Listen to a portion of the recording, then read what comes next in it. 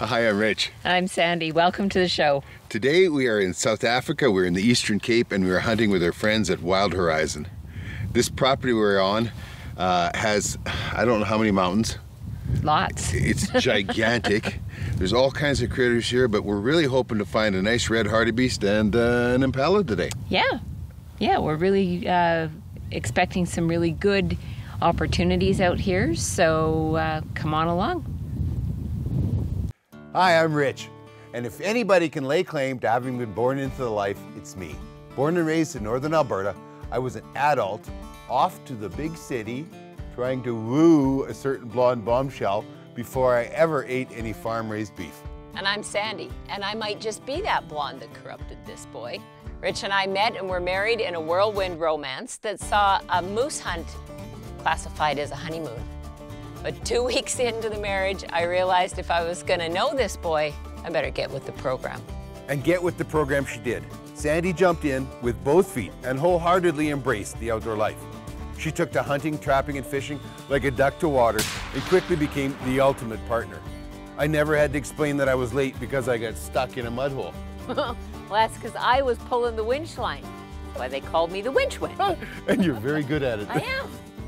And there was no worry about what time of day I shot a moose, because he was right there helping me gut it. We were full partners in life, and soon we had three kids running around the house, eating what we hunted, and teaching them the outdoor life. Lord, could they eat. Oh, yeah. And they still can.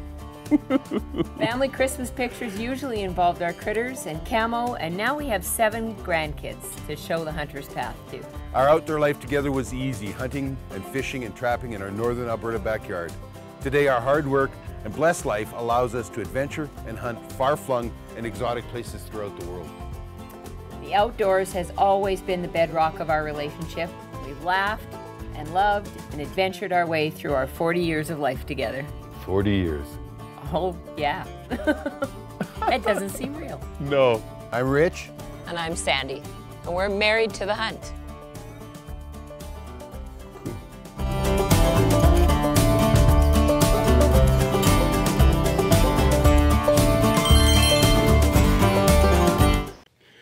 So, red hartebeest. Yes. When I hunted red hartebeest, it was the hardest hunt ever.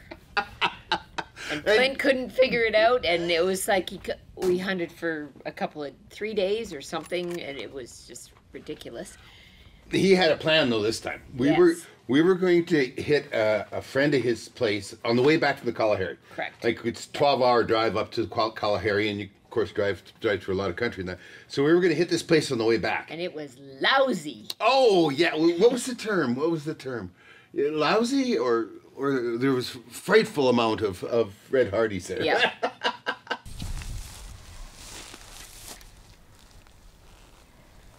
Very good answer, these buggers.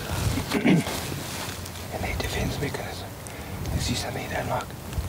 They run. They run. Into the basement.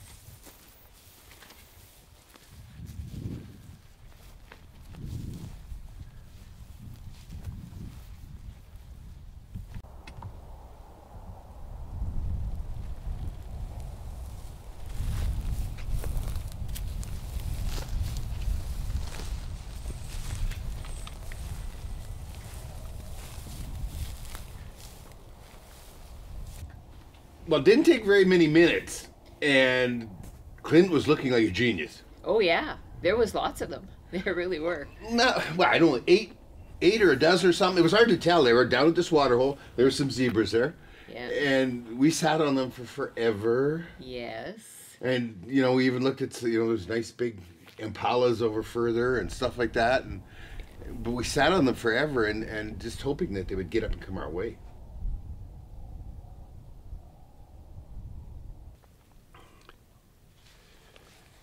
We've got a herd of hartebeest here 300 yards away. We know there's four or five here. We're not sure how many exactly. We've been sitting waiting them out, and now we've been sitting for just about four hours. We see other animals starting to stir around and, and starting to get up and move, and maybe we'll get a chance at them yet. We're hoping they get up at the water hole and they come our way, but you never know, right?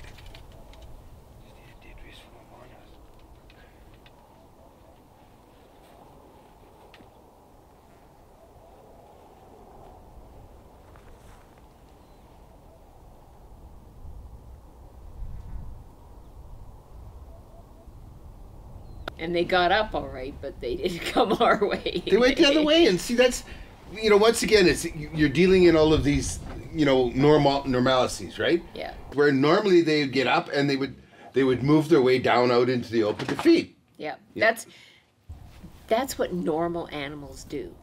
But when we show up, suddenly the patterns change.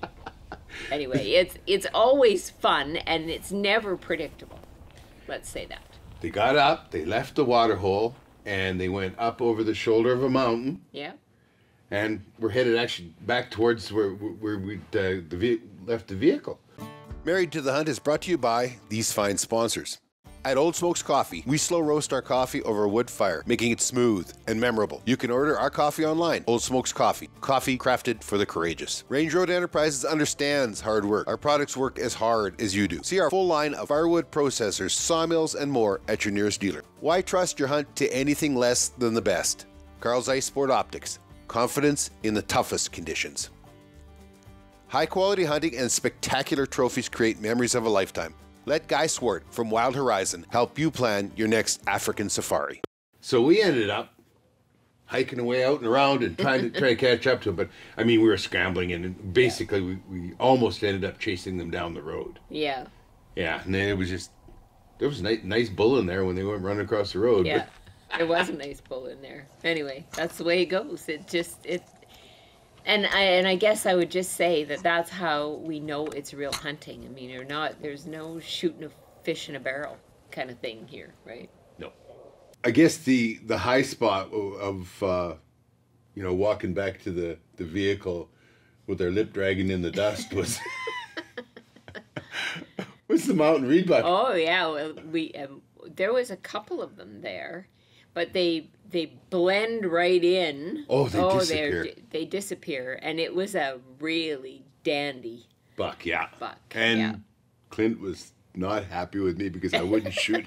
but we were hunting red hartebeest, so that's what we were hunting, and and you know we've talked before about the list and that kind of thing, and but but the mountain reed buck wasn't on the list, not this time anyway. exactly. All right, you may wonder why I'm sitting here with one boot off. this is a, a tip that, that have get, might get you out of a jam. We were uh, hunting here two days ago. I go to load the gun, and all of a sudden it won't close. Bullet goes in, and the the uh, bolt won't drop, and I'm wondering what's going on. So I ejected, thinking that perhaps it's a uh, you know a bad round, and next one does the same thing. So it's not a bad round. And now I cycled all of these through the the uh, gun before I brought it to, to Africa. So I got looking at it. What had happened is I had a seed that had went down my barrel and was on the bolt face. And of course, that made up enough difference, you know, with the custom chamber and uh, everything fits nice and tight. Uh, that made up enough difference that it, it, it wouldn't allow it to, to turn and rotate. So I scraped the crushed seed off it there, but then I'm worried. Now I'm worried about is there something else in the barrel? And I, stupidly, like I mean, in North America, I constantly have a piece of tape on the over the end of this to stop uh, those situations. So what do you do when you're out in Africa and you and you don't have a cleaning kit with you or anything? You take your boot off, and you take the lace, and you take and feed it through. And the beauty of it is, is that you can tie a knot in it to make make up the difference for the for the cartridge or the caliber, right? For the caliber, not for the cartridge.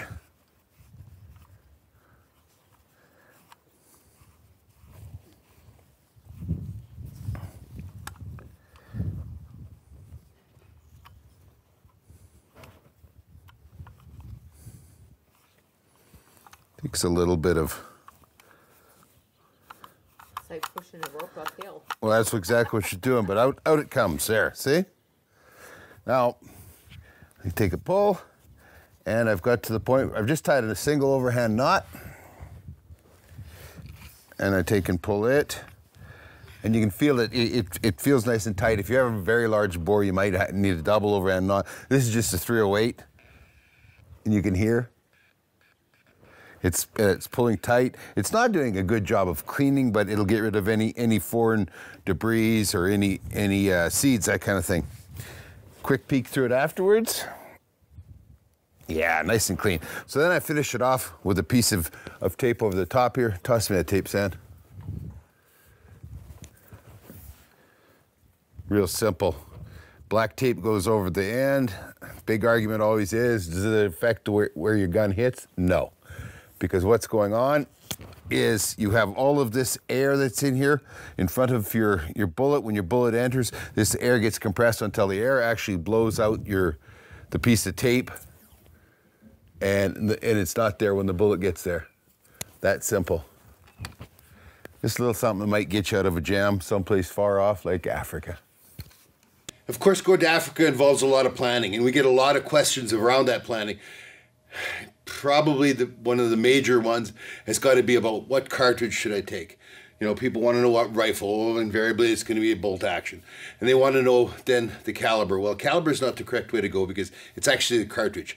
You can have everything from a from a uh, 30-30 to a, a 300 Ultra Mag. They're all the same caliber, not the same cartridge, not by a long shot. When we went the first time, now every every PH is going to tell you you need to bring a minimum. Your small gun should be a 375 H and H, uh, or or the 375 Ruger. It's becoming more popular as well. That's what they're going to want you to bring as their small as your, your small gun. And I would say, you know what, if you're going to shoot something like an eland or a Cape Buff, yeah, you're going to want something like a 375 H and H. The first time that we went, uh, we took uh, the 338 Win Mag and the seven uh, Winchester Short Mag as the, our, our guns of choice. The second time that we went, we took the 375 H and we took the 338 Win Mag again. This last time, we took the 308 and the 260 Ackley. Now, the 260 Ackley is based off of the 308 cartridge, and it was the 6.5 Creedmoor before the 6.5 Creedmoor was popular or cool. and the reasons for going with the with the smaller cartridges was just the fact that people shoot them a lot better. I shoot them a lot better.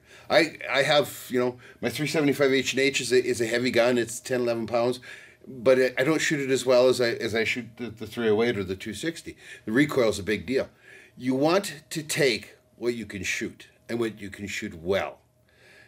African game has its vitals in a different place. Yes, you have to shoot more forward than you would. So most often you're going to be shooting through a through the the leg or the or, or the the bottom part of the shoulder.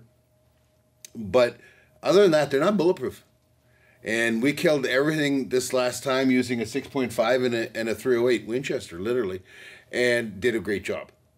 You know, if you're going to be going for something large, like the eland or the buffalo, uh, those those kind of animals, dangerous game, then yes, I would go up to the the, the 375. Uh, I would uh, not otherwise hesitate. Sandy took a kudu with the 308. Uh, she took a big zebra with the 308. I, I shot everything, big oryx with, with with the 6.5, and those are all you know animals that are, are elk sized. You know here in in North America. Don't hesitate, but to take enough gun, but be sure to take a gun that you shoot well. Nothing kills like accuracy. All of a sudden, the Red Hardy got bumped, and there was a Blesbok that somebody hunted. Well, you know, there were still we still had some lists to to fulfill, and and so then yeah, the Blesbok was on there, The Blesbok and then and then the zebra. and then the zebra. yeah, and then finally uh, that all gets done. Now now we're in that to that last one on the list.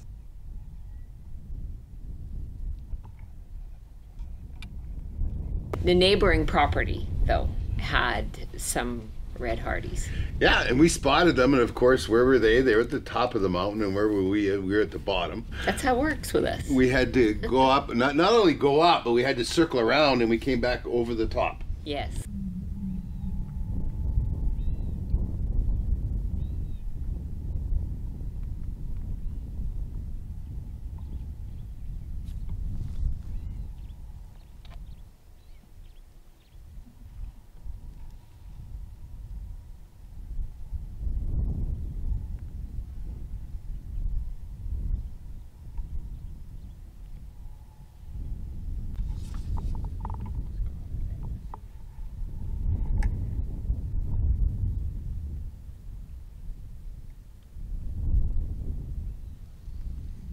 We came back over the top, and just as we're we're breaking the crest, and there they are.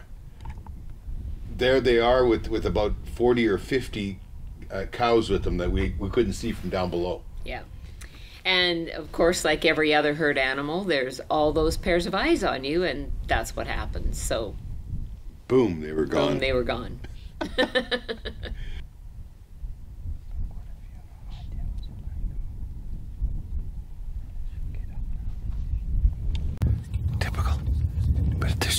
two big bulls in that group. Never easy. Something's wrong. Something's wrong. Everything's wrong. Our PH is deserting us. Married to the Hunt is brought to you by these fine sponsors. Argo Extreme terrain vehicles conquer any season, any terrain. See all the new models at your nearest dealer. Argo, go anywhere. Midland Radios help you stay in touch in the wild. Check out the new X Talkers at your nearest dealer. Communication for every adventure. Alberta Outdoorsman Magazine, Alberta's only hunting, fishing, and trapping magazine. Take your best to the best. J. Martin Taxidermy. Recreating the memories of your hunt with precision, passion, and pride. we got lucky though. Uh, we, we, we were headed this way, and because that's where the whole herd had took off Yeah. after, and, and all of a sudden we looked that way, and, and here here's a, a lone bull all by itself. Yeah. And I don't know whether he had been kicked out or whatever, but um, but there were a couple of other animals in there too. There was some eland. There was some eland that were that were down below him, but uh, you know, we were practically skylined. Your camera work was pretty interesting because you were you were sneaking so much, and, and the ca- and it starts off with a lot of sky, and then some tree on an angle, and down to. it's hilarious. But we we ended up getting getting the chance on on a on a great hartebeest.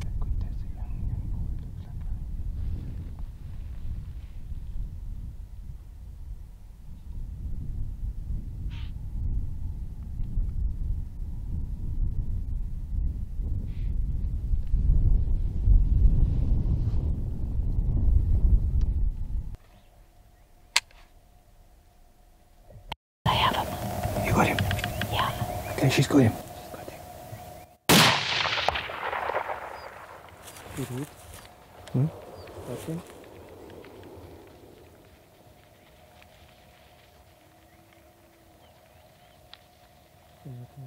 Who's down? There he goes down. Who's down? You went down. Yes. you were angry, you a little bit too wordy, so Yeah, no, no. I- I know. after all those chasing, waiting, and of course the, the first bu- bunch we, we we bust, there's there's 50 sets of eyes looking at us. yeah, there's no ways. Yeah. There's an unhappy eland over there, huh? What's making all the noise? I think it's at Arteby still. Could be that hard to be just Oh. maybe. Anyway, was was uh, get, we had him down here, but he was facing us, and he jogged up and presented a much much nicer shot. He even came a bit closer too.